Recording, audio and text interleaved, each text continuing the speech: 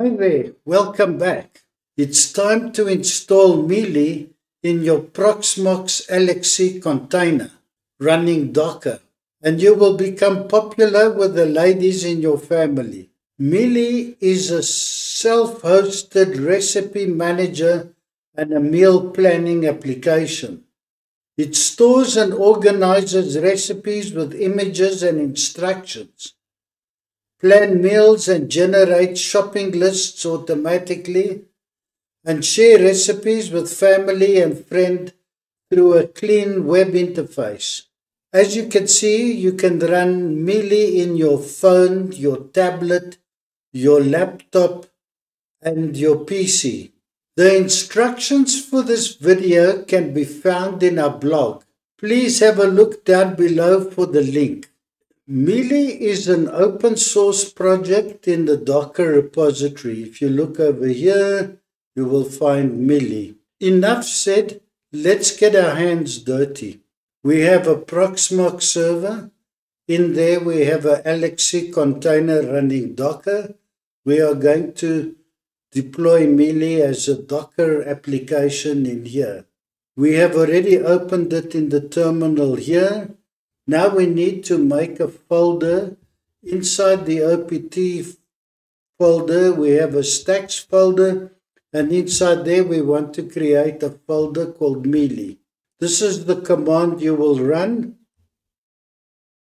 and then you will open that folder. At this point in time, we are going to create our Docker Compose file using our favorite editor, Nano. Please note the file name is compose.yaml. So this is the command we will run. At this point in time, we need to go to our instructions. And if you have a look over here, we have our Docker compose file. You can click that to copy it. We have a rule in this channel. We never record untested applications. So in order to test that, we had to create the file. So when you run this command, it would be empty and then you would paste into there. However, we don't want to break our server, so we're not going to do that. And then you can say Control X and then be prompted to save it. Yes. However, if you say Control S for Susan and then X, you don't get prompted. So that's the reason we use Control S, Control X. Then we will create a .env file. Run this command. Before we run this command, we need to go to our instructions. Underneath the Docker Compose file, you will find the .env file.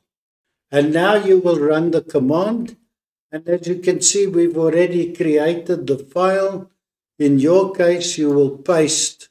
As we said, we don't want to damage our server, so we are not going to do that. Now, there's something we do in our channel. We haven't seen it in many of the other channels. Before you do a Docker Compose up command or up dash D, we always do a Docker Compose pull command. This way, we get all the dependencies downloaded and everything is ready for the server to start. You will notice that it's going to come down quickly. And that is because we already have the image. In your case, it'll download all the dependencies so that when you start it, it will go quicker. At this point in time, you will say docker compose up dash d. Again, it will run quicker because we have already downloaded the image. It says that it started, and you can see it started quickly. However, if I use another tool, the container may have started, but it takes time for the application to be ready. We've provided you with the credentials you will need to log in, the user and the password, as well as the URL. It's your server's IP address, port 9925. In our case, this is our server. Sometimes you will get a blank screen like this, and that is because it's still busy starting. And you can see that in this monitoring tool, it's showing that the server is starting. Let's try now. Select Remember Me. And now we have to use these credentials.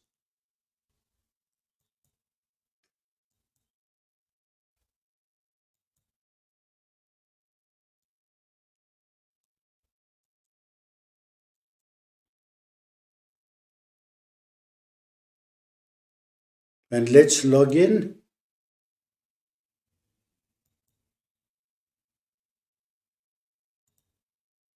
Now we'll create our own account. Nico, no, admin.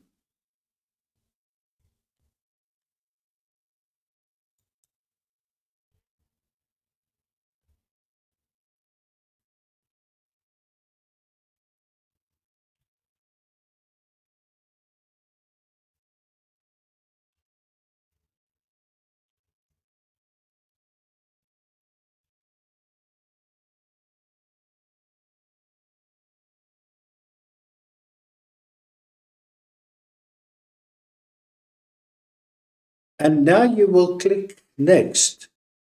We had to change the user's name from admin to Nico because we had previously tested using admin.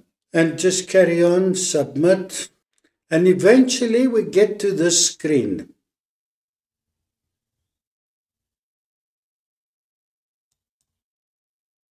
Okay. You now need to click on the hamburger menu and let's create, let's go to cookbooks. I'm going to search for apple strudel.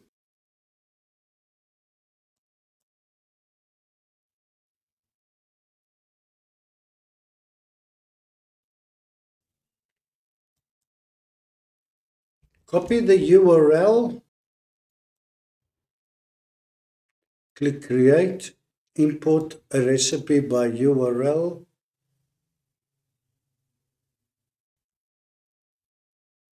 And I want to stay in edit mode.